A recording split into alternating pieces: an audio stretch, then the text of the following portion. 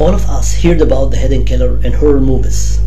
But do you know that we have hidden killers in supply chain also? Today I'm going to show two out of hidden killers in supply chain. Actually, in inventory management.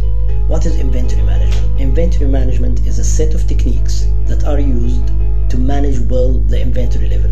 And the aim of inventory management is to reduce the cost of inventory while keeping and maintaining the service level required by the customer.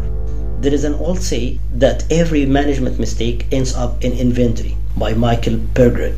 Before showing these two hidden killers, let's always agree that time equal money and always keep it in your mind. The first hidden killer is item description and it has two phases that might generate errors in the organization. The first phase is incomplete item description and this might duplicate the cost in the organization. Imagine that you ask your son to buy 2 kilos of apple without mentioning the color that you need. While you need a green one, your son went and brings this 2 kilos and it was red. The same could happen in your inventory. If you didn't complete the item description, maybe the procurement team purchased something that you don't need. And can you imagine if this item were imported? It will cost a lot for your organization to recover this mistake. The second phase of the first hidden killer is not using a standard description because the system will not notice that this item already created in the system before. Therefore, we will have more than two or three or four unlimited of item codes for the same item and this will lead to purchase this item many times and this will cost the organization a lot and a lot. The second hidden killer is unit of measurement and this might destroy your inventory management at all and I'm going to show you a small example. Let's imagine that the plant is ordering welding electrode. The normal unit of measurement for welding electrode is kilogram.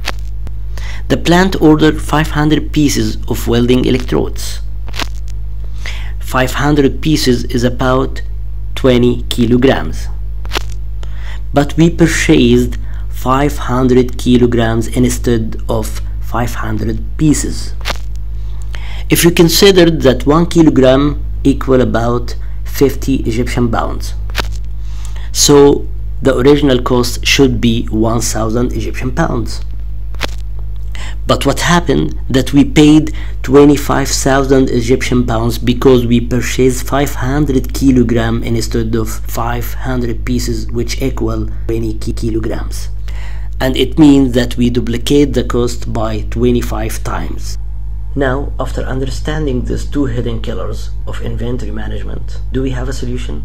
Yes, sure, we have a solution, and this is a package of actions that you should take. Based on the percentage of the actions you take, you will gain the same percentage in the inventory improvement. Let's see what we should do. Now, let me invite you to take a desired action to get the desired performance. 1 apply ERP system. 2.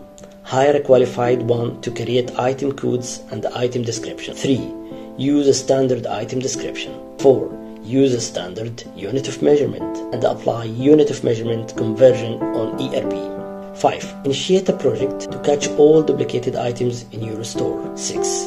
Apply bill of material. Last thing is to make a random and regular stock counting in your store to catch all duplicated items. By the end, I hope I could clear these two hidden killers. Thanks for watching. Goodbye.